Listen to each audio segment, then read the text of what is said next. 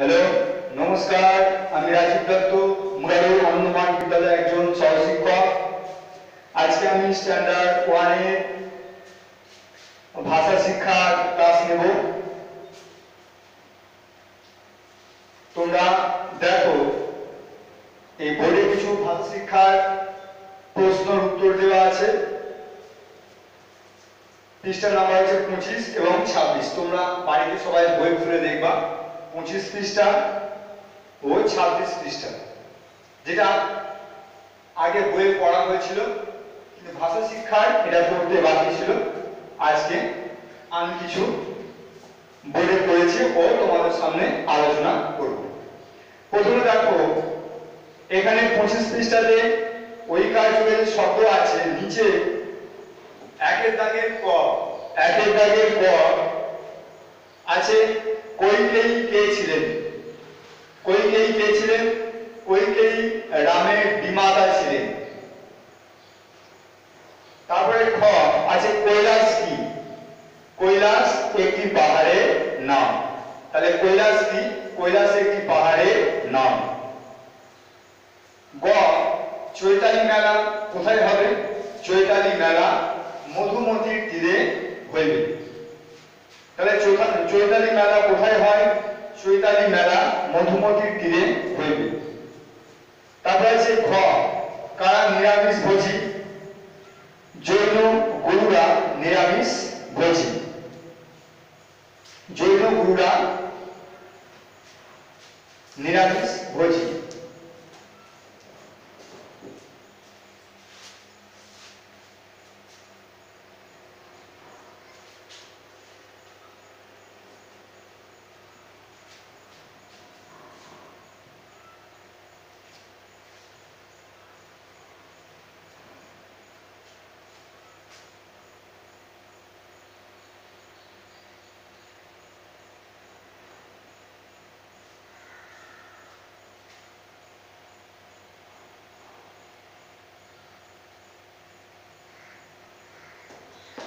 তাহলে কারা নিরামিষ ভোজি জৈন গুরুরা নিরামিষ ভোজি।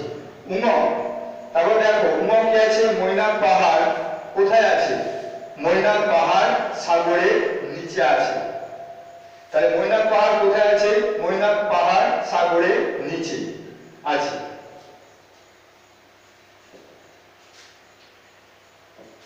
এরপরে পরের পৃষ্ঠাতে চলে এসো। দেখো, ছাব্বিশ পৃষ্ঠা। এই ছাব্বিশ পৃষ্ঠাতে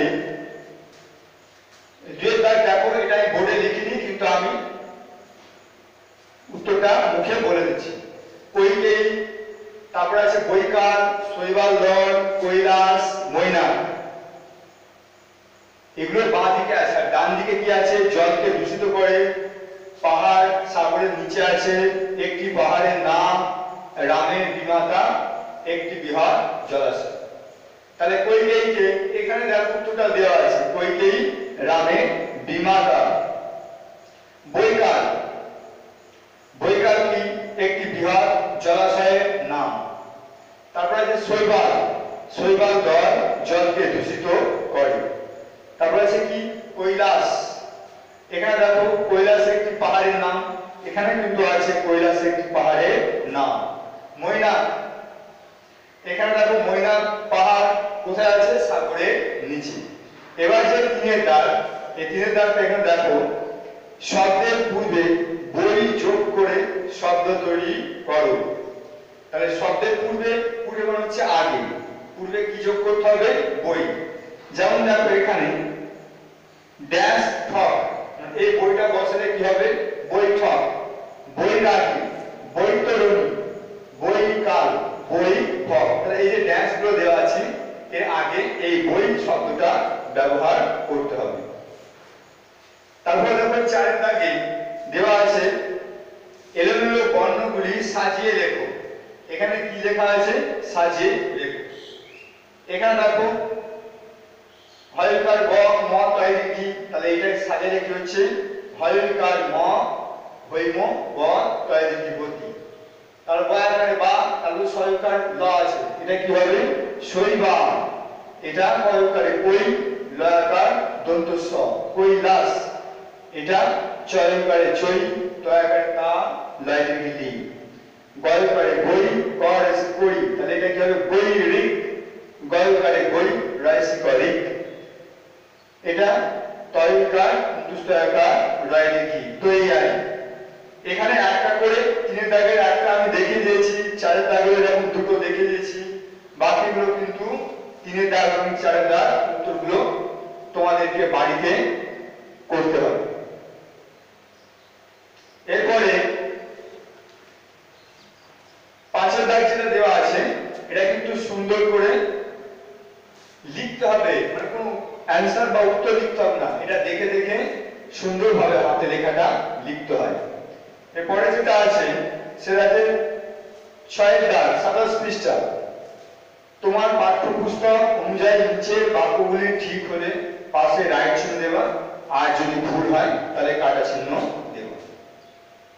তাহলে এগুলো কি কীভাবে করতে হবে?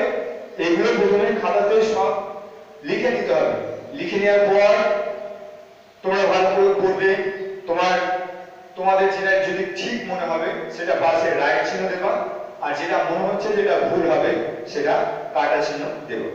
যেমন একটা পড়ছি, বইকালে একটি বৃহৎ জলাশয়ের নাম? ঠিক না ভুল?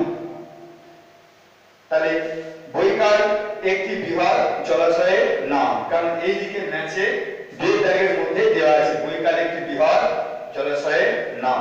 তাহলে পাশে কি করবে? একটা বক্স করে রাইট চিহ্ন দেবা বক্সের ভিতরে। কৈলাস একটি পাহাড়ের নাম, দেখো এখানে আছে, কৈলাস একটি পাহাড়ের নাম। তাহলে এটাও ঠিক, এর পাশে রাইট চিহ্ন দিতে হবে। মৈনাক পাহাড় মাটির উপরে আছে। তাহলে তোমরা এখানে কি দেখেছ?